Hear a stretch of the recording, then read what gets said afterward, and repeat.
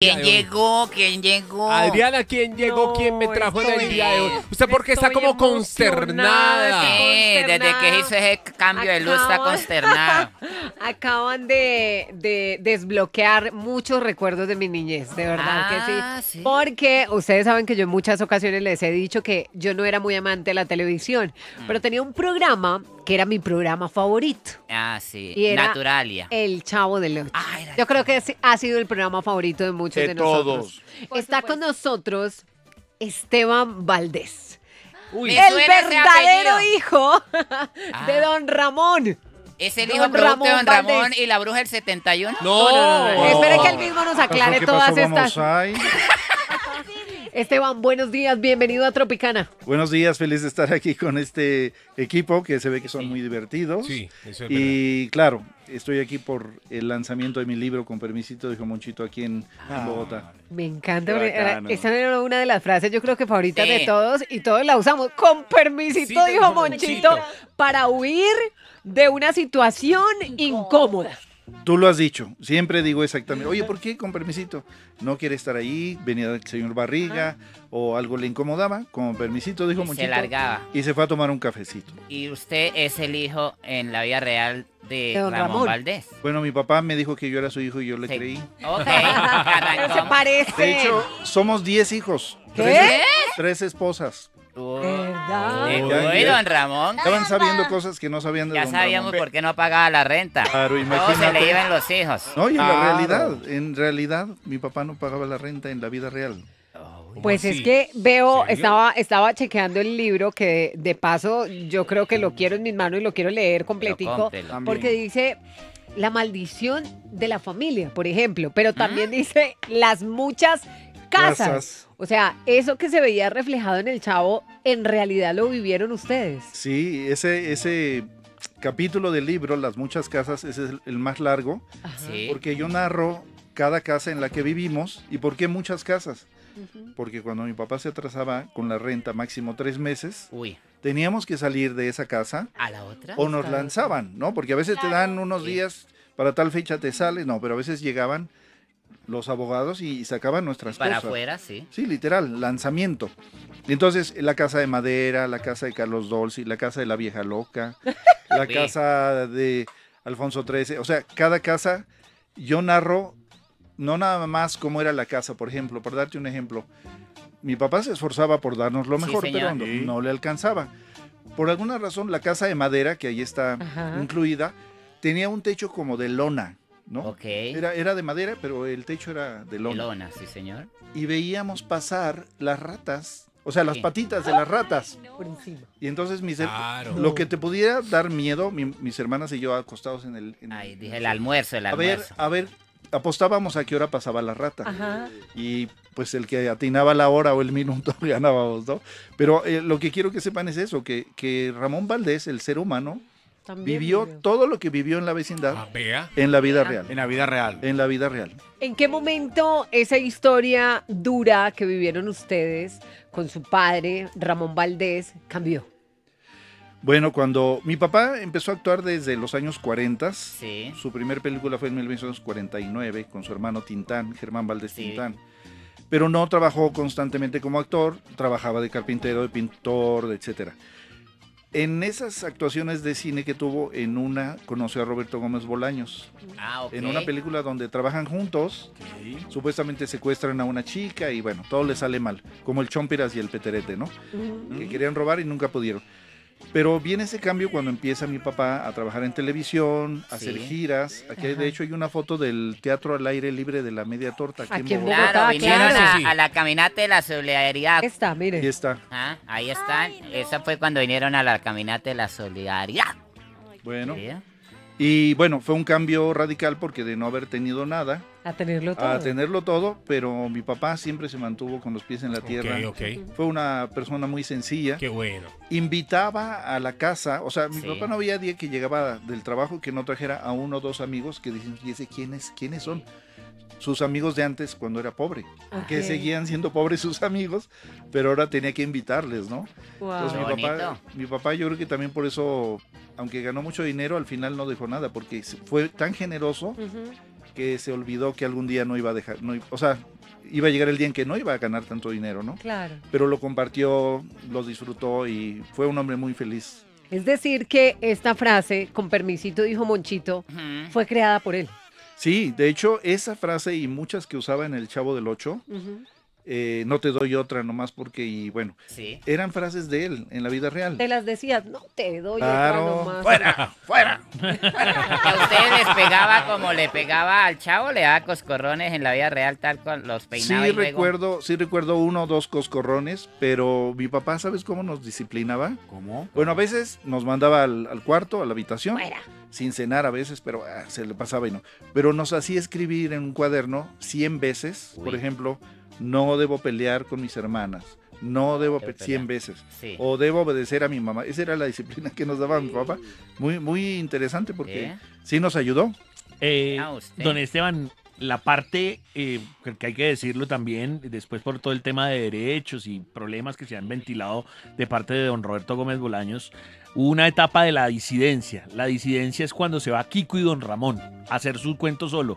Eh, desde parte de Villagrán dice que es un acto de lealtad suprema. Sí.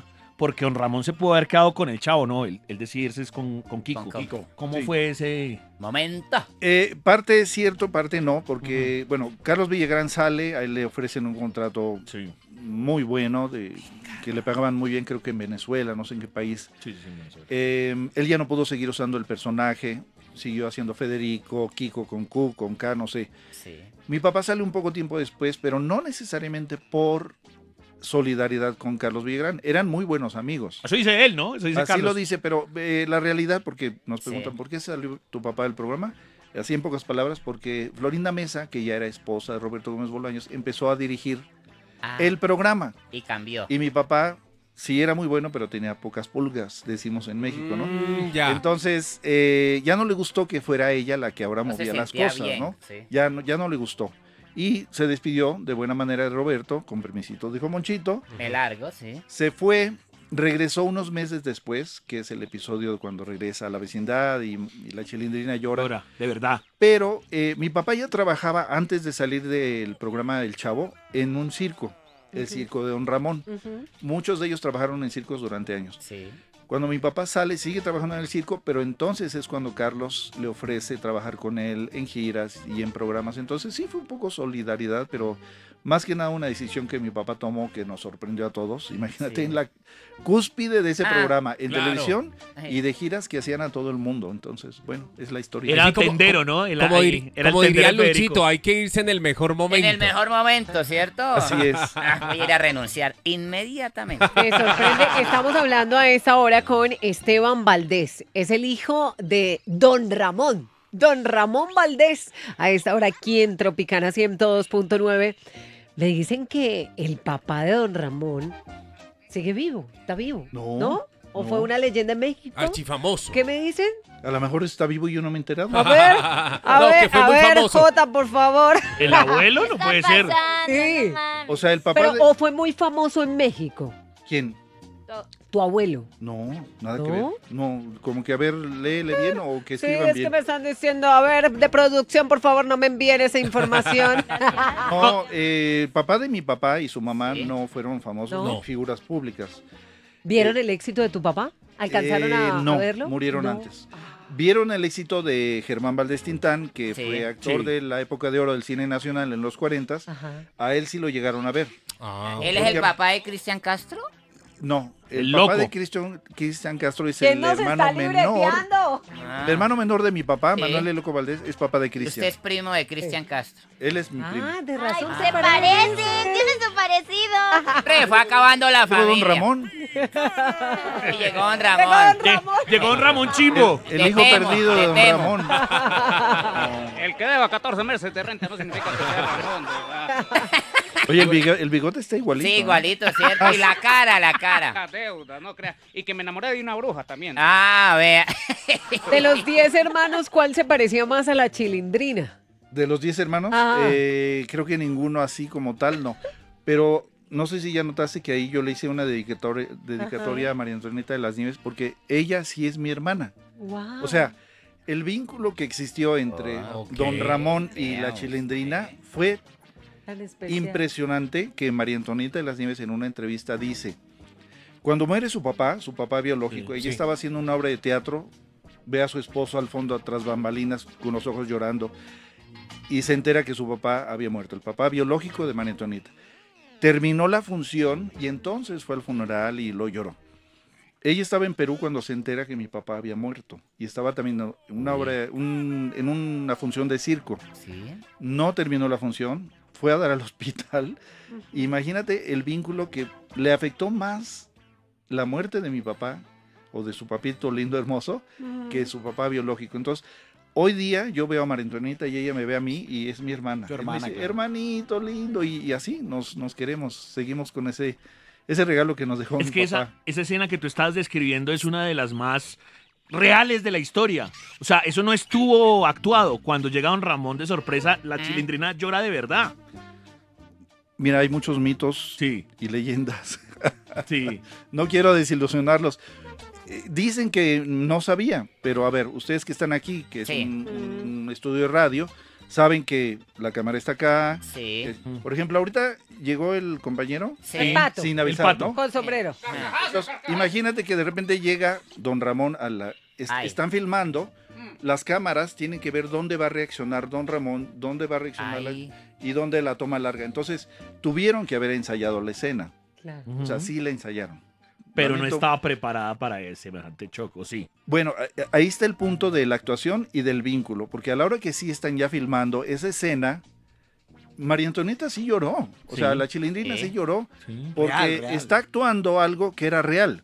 Regresó su papá a la vecindad y mi papá la abraza y bueno, eh, muy hermoso, porque aparte eran excelentes actores. ¿no? Bueno, Pues tenemos muchas historias historias. por contar sí, y genial. esas historias están escritas ¿Dónde? en este libro espectacular. Con permisito, dijo Monchito de Esteban Valdés, el hijo del señor Ramón Valdés, que está con nosotros precisamente para invitarlos. ¿Cuándo es el lanzamiento del libro? ¿Dónde va a ser aquí en Bogotá? Te voy a decir porque como tengo mala memoria y no veo bien, Ajá. eh, Ahí está el bueno, papelito. aquí está el papelito. Sí, con señor. permisito, dijo Monchito. y el día de mañana a las 6.30 de la tarde en el restaurante Manja Bistro Latino en Chapinero. Sí. sí, señor. eh, carrera 6, número 58-49, Ah, 6.30. Ese- Es un meet and greet íntimo porque Sí. no hay mucho, muchos, eh, o sea, tiene que ser reservación. Ok. Eh, ya le dije aquí al compañero que si por algo no pueden ir o se quedan afuera, Escriba al Instagram. escriban en Ah. Instagram. Señor. Y ahí y quiero agradecer también a donde me he hospedado en el Airbnb Sí, de no. Anima by Ahead. Uy. Eh, me han tratado muy bien. y bueno, Bueno, espero pues- que nos acompañen. Claro que sí, Esteban. Muchas gracias por acompañarnos en Cómo Amaneció Bogotá de Tropicana. Tropicana.